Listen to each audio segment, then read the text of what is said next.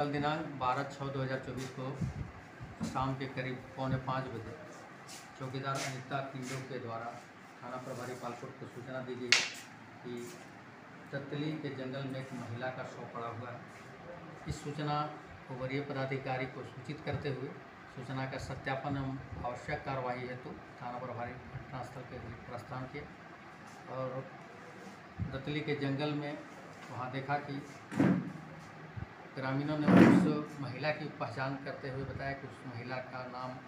होलिका देवी है जिसका उम्र करीब उनतीस वर्ष है और वो तबकरा की रहने वाली है। शव का निरीक्षण करने पर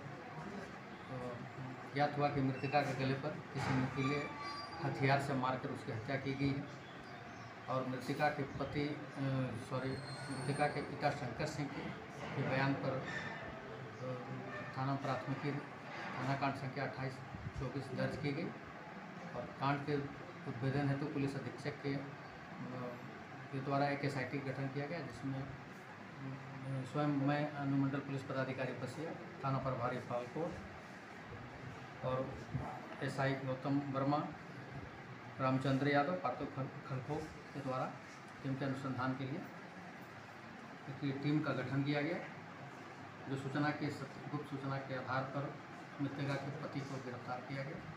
गिरफ़्तार, गिरफ्तारी के बाद उसके स्वकरेक्टिव बयान लिया गया, जिसमें उसने स्वीकार किया कि उसने ही अपनी पत्नी की हत्या की है और हत्या का कारण पूछे जाने पर उसने बताया कि मेरे पत्नी का अवैध संबंध किसी अन्य लड़के से था, इसलिए गुस्से में आकर मैंने उसकी हत्या की। प्रभात खबर डॉट कॉम, विश्वास वही, रफ्तार नहीं